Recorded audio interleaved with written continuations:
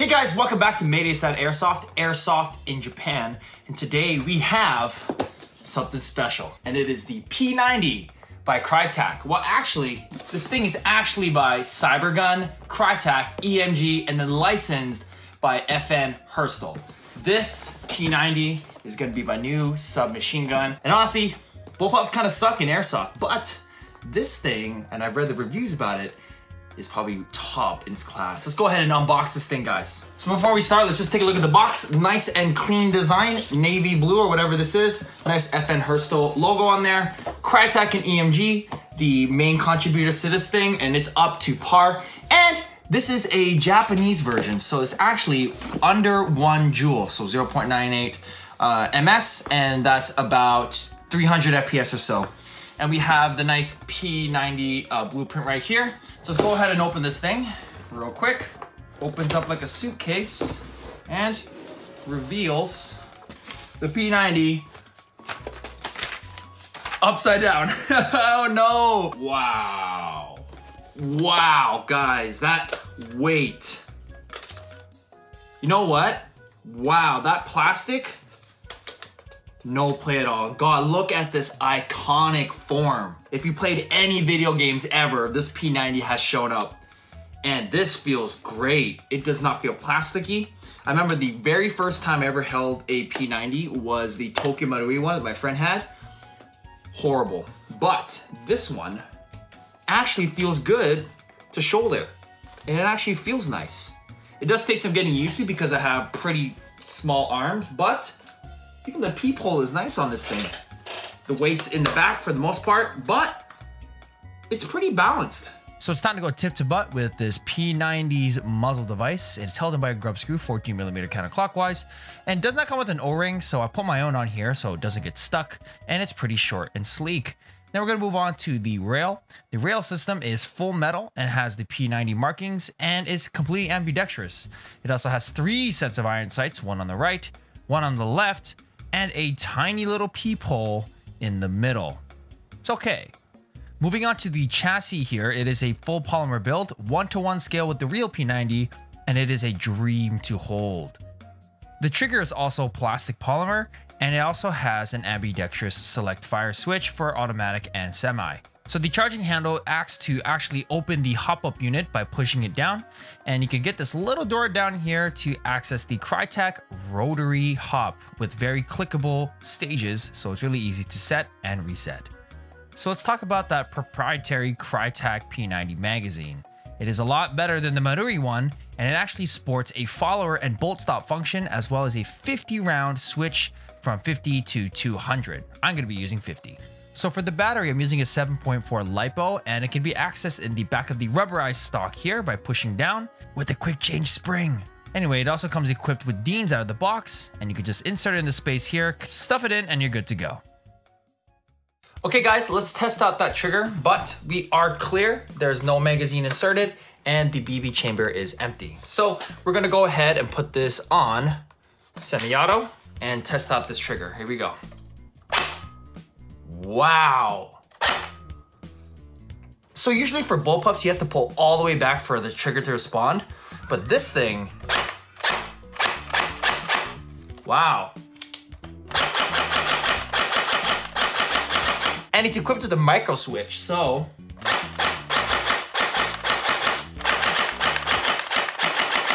That's good for 7.4. That's really nice. So you only have to pull a certain amount of length and then it'll go. Usually you have to pull all the way back, but you don't have to with this one. So if you change it to full auto, a half stroke will do semi and a full stroke will do full auto. So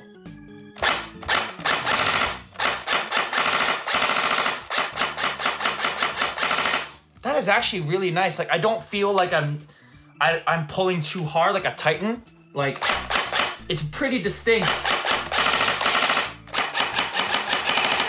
It's pretty distinct where the full auto and the uh, semi-auto begins.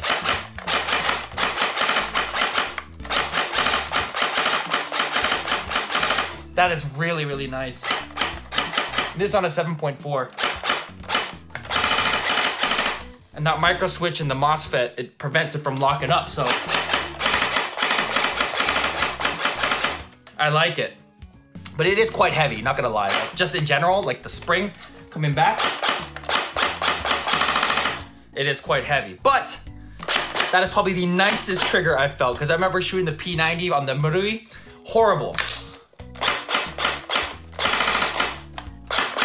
So I, I feel like some people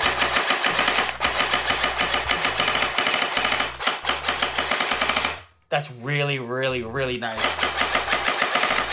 Really, really nice. So I feel like on a full auto field, if you can ever play at one, you just put this thing on full auto and then you just go. So because when you go semi, when you go full auto, you only have the half stroke for semi. See that? Half stroke for semi. And then full stroke for full auto. But with semi-auto, you have to go all the way. Actually, no, you don't. Wow, it also does the half travel too. That's really great. It's actually skirmishable. And the iron sight's are actually really good. Like the little tiny peephole, but it's it's it's pretty good. We're gonna use 0.2 gram BBs to test this thing now. See the BBs actually loading. See? Oh, there you go. So we got 50 rounds in there, and you can actually see that it's like that. All right, so we got our iPro, we got our target over there, about five meters or something like that, because my house isn't that big. Um, and we're on safe, and this is empty, and we're gonna just go ahead and test just some general groupings. This is probably human-sized target at CQB range. So we're gonna get our magazine that's already loaded, 50 rounds in. And that is really cool. Okay guys, here we go. So let's do it on semi-auto first. So the first shot doesn't feed. Pretty low. Geez, that is straight. Laser beam.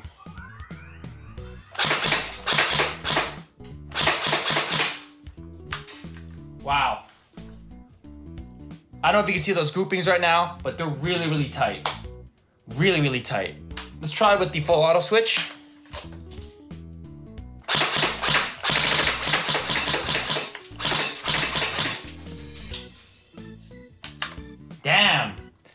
That's just going straight through the thing and hitting my mailbox. I think I'm gonna stop it there. so if you take a look at the grouping, even on full auto, this thing is pretty damn accurate. Obviously it's not zeroed in, but goddamn, this is nice. Really nice groupings, really straight, and that's with the hop off. And the cool thing is, when you run out of ammo, there's a bolt stop. So it's not gonna fire when you're out. So, gotta reload, and you're out. See, because the follower is pushing it down. So you can't just reload. Perfect feature. You guys know me. I like my uh, bolt stop and I like my reel count. So this thing is perfect. All right, so we're gonna use a tracer now so you guys can actually see the trajectory of this thing. All right, guys, so we got Mark from Red Wolf Airsoft because I watched his uh, review for this video before buying it. So we're gonna go ahead and shoot him in the face. Counterclockwise, so it's very easily, you can very easily put on a tracer, just like that. There you go. You got a nice tracer. All right, so we got our tracer BBs. Goodbye, Mark. Nice, you guys see that? Maybe you can't. All right, try it again. Goodbye, Mark. There you go. This thing is laser, dude. It's laser. Let me let me let me let me switch the camera.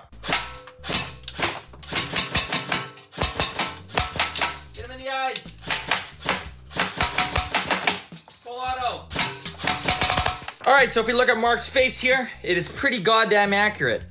I know I wasn't really sighting in because it was kind of dark, but consistent spots here, right around the cheek, few in the eyes. Aim for the eyes, actually hit the eye, hit the ears a little bit, but very, very consistent. Hop off. Cool thing is, if you set it up for 200 rounds, you can actually see the BBs loading in. You'll see as it wraps around, loaded all the way around. I think is really cool. So, it's only appropriate that we mag dump this thing now. So if you ever want to like do a press check, you can kind of just do a little check like this, and you're like, oh shit, okay, I have this amount of BBs. So it's actually really, really cool. All right, guys, you guys can see the BBs go down. Full auto, iPro on, here we go.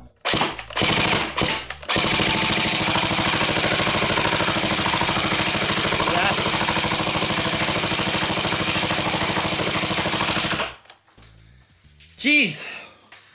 Now, there's one more feature of this gun. So I was talking about the trigger pull feels really nice, but you can actually adjust it with this little tiny hole here to make it even shorter. So you get yourself a hex wrench and there's a little Allen key inside. As you can see, like that, right? So, so according to this, turn the hex screw clockwise to elongate, turn it counterclockwise, counterclockwise to make it shorter. So I wanna go counterclockwise, so I'm gonna be turning right, turn it right like this. And that makes it shorter. That's really nice now. Really nice.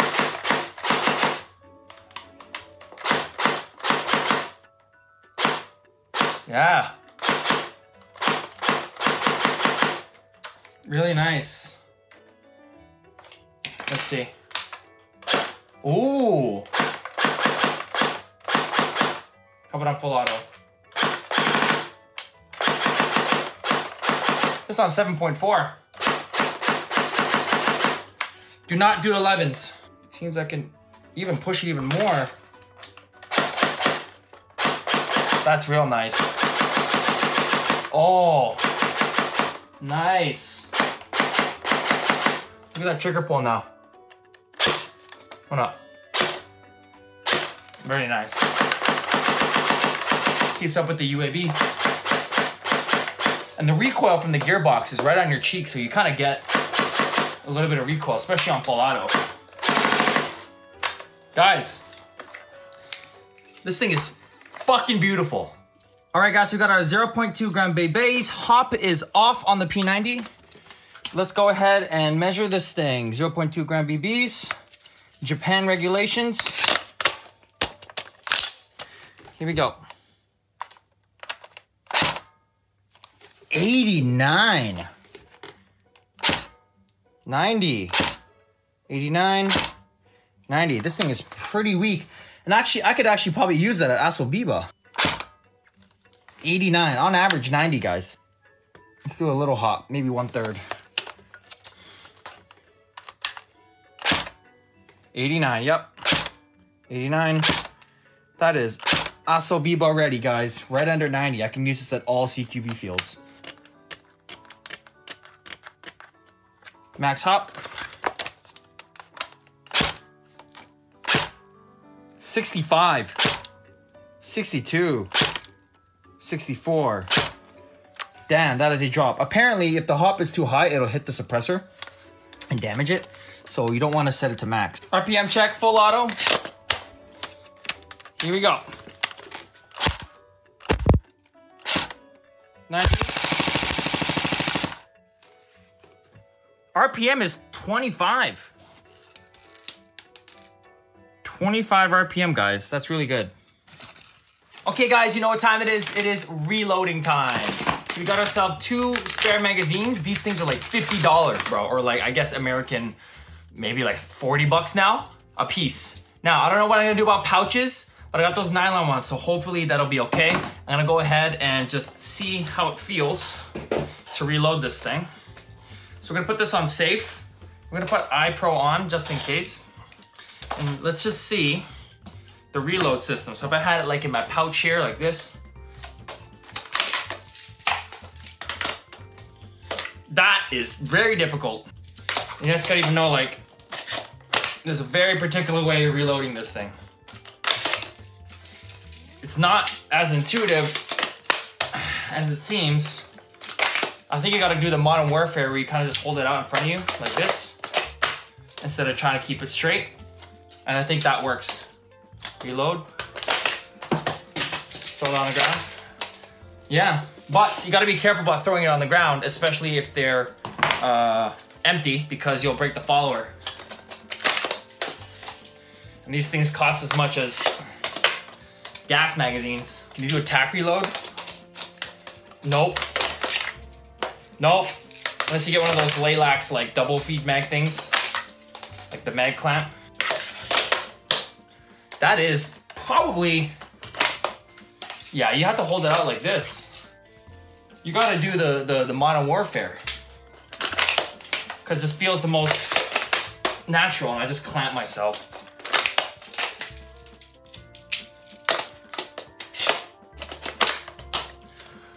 Yeah. All right, I'm fat as fuck, but we got it on our belt.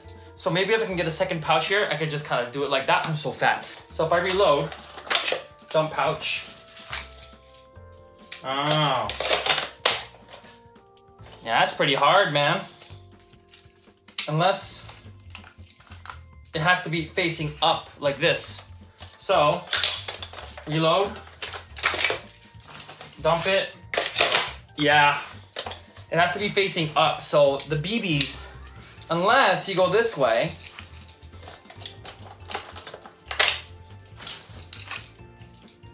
Ah, oh, no, because then it's like weird. Nah, the BBs have to be facing up, facing in towards your body. Dump it. This is gonna be a bitch. Definitely gonna have to take some training. Even the shouldering is a little, a little particular, particular, but the shouldering is actually not bad. Okay. Pretty cool.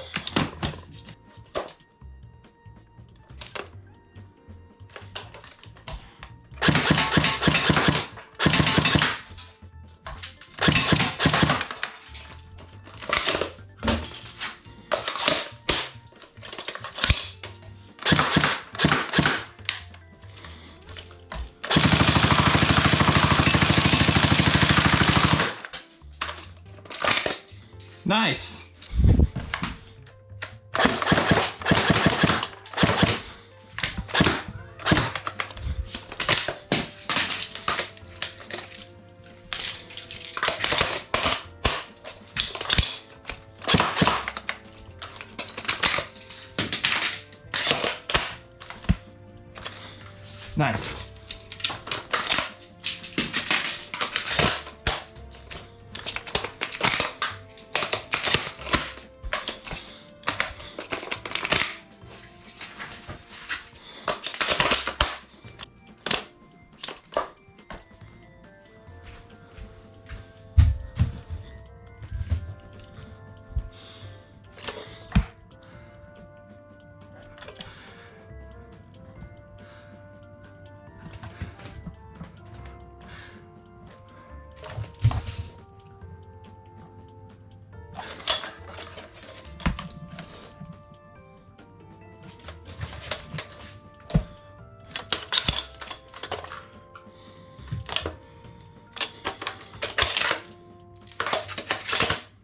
Okay, so the last thing about this P90 is that its takedown is really easy.